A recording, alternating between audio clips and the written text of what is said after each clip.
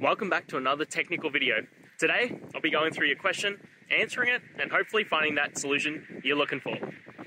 Guys, let's get ready to try and work through to that resolution, and remember to just stay a little bit crazy, just like me. Now, let's continue on.